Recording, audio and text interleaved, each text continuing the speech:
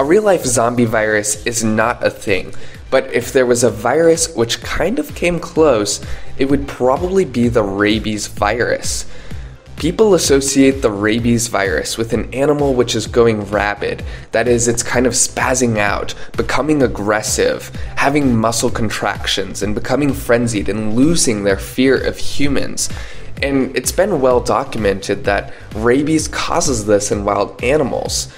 In fact, the rabies virus primarily spreads through animal bites, and it's one of the best known zoonotic diseases, killing more than 50,000 people every single year.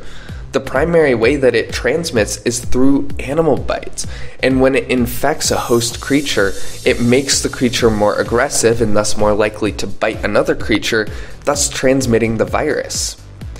Now, it's well documented that the rabies virus attacks the central nervous system of the host, and in humans, it can cause a range of debilitating symptoms, such as inducing states of anxiety and confusion, partial paralysis, agitation, hallucinations, and in its final phases, a very strange symptom called hydrophobia. Hydrophobia causes the infected individual to panic at the sight of water and refuse to drink. When you have symptoms these severe, death is typically what follows next. Now, while all of these things have been well documented for happening, the actual reason this occurs in rabies and how such a small and simple virus can cause such adverse effects and lead to such behavioral changes in humans and other creatures has not really been that well documented. Earlier research has shown that there are particular molecules on the surface of the rabies virus which bind to receptors in muscles, and knowing that mammalian brains also contain these receptors a set of Alaskan researchers set out to determine whether the virus could inhibit those particular neurotransmitters in the brain and affect host behavior.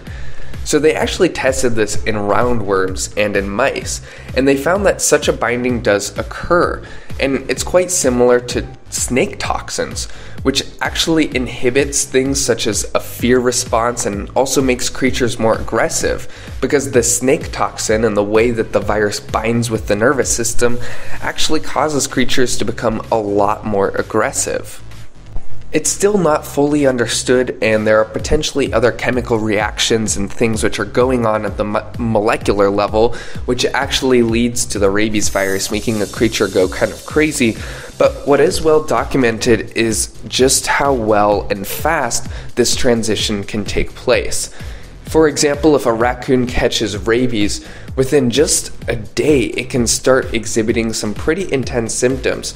And more importantly, it could transmit the virus to you, your family, or your pets.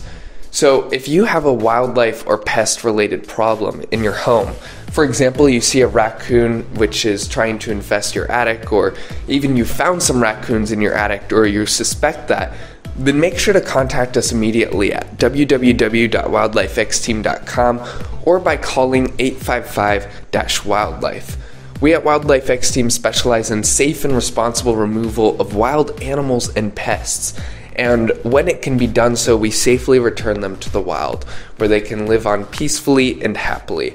However, this is very important that you don't deal this with yourself because, like we said, if you get bit by a wild animal, there is a chance which you could get rabies, which is a very, very high fatality rate and a very dangerous virus. So be careful, and if you see any creatures which are exhibiting highly aggressive or non fearful signs, make sure to contact the wildlife control in your local area immediately so that way they can take care of it and this virus doesn't spread to any more creatures. It may not be a zombies virus, however, in a certain sense, it is, very much like the movies. And the reason for this is because it makes a creature more aggressive and it spreads via bites.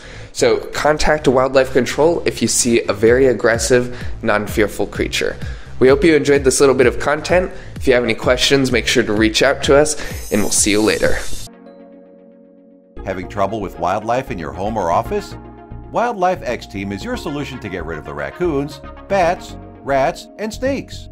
Having a professional team, we offer both residential and commercial animal removal methods by using innovative and integrated techniques Our services include animal trapping, dead animal removal, nuisance wild animal control, and animal capture. What are you waiting for? To get 24 7 service, call us at 855 Wildlife for an affordable solution for your nuisance wildlife issues.